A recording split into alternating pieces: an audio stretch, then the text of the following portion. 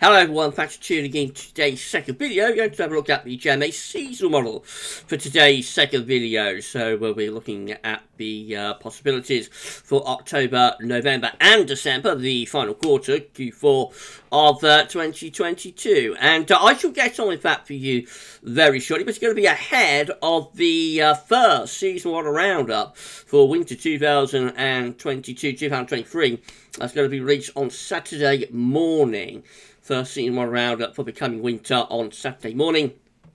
And uh, this, you know, ahead of that, we like to isolate this one out and have a look at this one in its own terms. But uh, the one round of winter will be on the way at the uh, weekend.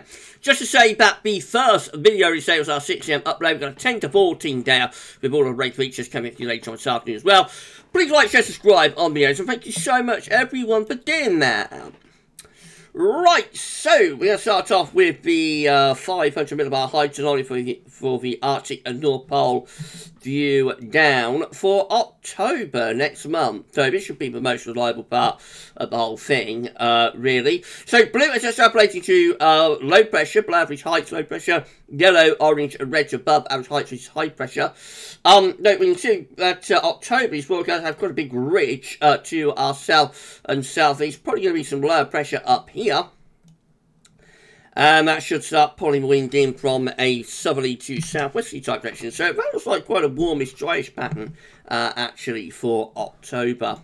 Going through to November, we look like that. So by then, it looks like the heights are pulling out into the Atlantic. You've Got some low pressure or lower pressure up here. You probably look at that and think it could be quite a dry settlement, but I think it could be a little bit more changeable actually than that um, would hint with the wind tending to come a little bit more from a west or a northwesterly uh, direction. So if this area of low pressure up here, that could bring some unsettled weather into the north. I think just generally a little, probably a little bit cooler and a little bit more unsettled with jets on a northwest southeast alignment and whatnot in uh, November.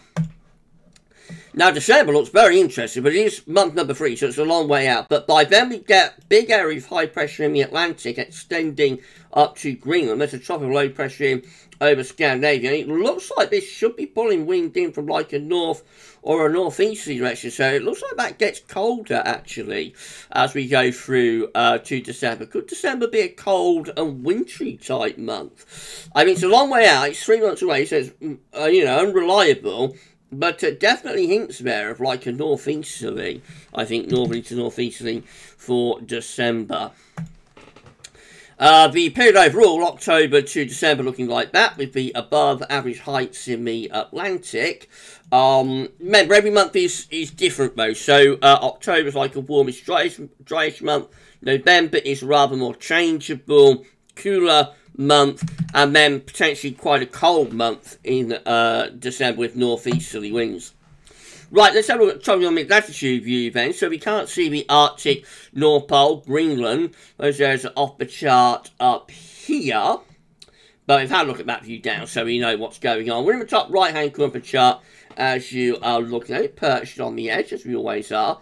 So uh, we find that for month number one, we're back to October, high pressure is uh, centered just to our south. And we're drawing up this southwesterly, southerly type wind. The temperature anomaly for October is average to above average. Notice it's got these yellow colours sitting just right south and east. So that temperature anomaly is like 1 to 2 degrees above average. So quite a warm month uh, being hinted at there for October. And more unsettled in the north. More unsettled in the north, with some above average rainfall for Scotland, but drier for Ireland, England, and Wales. Heading through into November, we have that area of high pressure then pulling out into the Atlantic. And it looks like starting to jet stream on a northwest southeast uh, type alignment. The temperature anomaly, not as warm as it is in October, but still a little bit above average, like half a degree or so above normal probably. Um, and precipitation-wise, we look like that in November, so it does go a little bit more unsettled, so slightly above average rainfall there. I forgot to say the wind arrows, didn't I? So for, for November, the mean wind direction is like west or northwesterly. You can see that from the black arrows coming through. That was a little bit difficult to make those out. But I think they are coming out, coming in from like a west northwest direction. Uh, back to October, just show you the wind arrows there, and uh, they're coming from like a southerly southwesterly type direction then in uh, in October. So that's the reason October's a warmer month. November is a rather cooler month.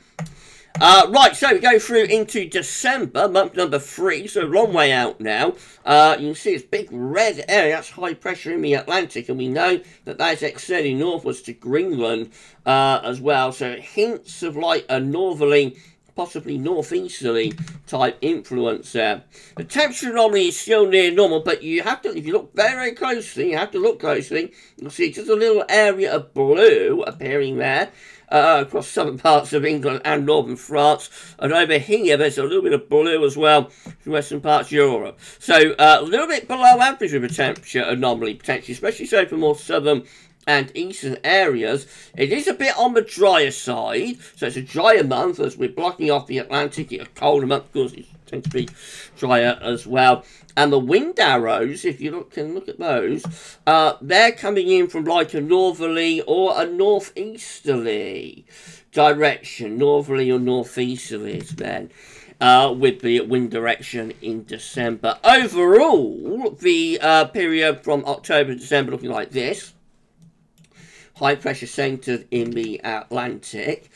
The uh, temperature anomaly is about average to slightly above, and the precipitation anomaly just a little bit wetter than average for more northern areas. Uh, and then we go through to the mean wind direction, and it's sort of west northwesterly, but bear in mind every month is different with the wind direction. So October is southerly southwesterly, November is west northwesterly, and then December is north northeasterly. So every month is individual. And so I suppose the mean of the three months isn't that helpful, really. Um, right, so quite an interesting update. Wow, wow, wow. What do you make of that, everyone? I don't know. Um, so obviously October is like the most reliable part of this. Generally uh, a drier, warmer type month in October again. Uh, and then things begin to change a pattern a little bit through November, particularly December.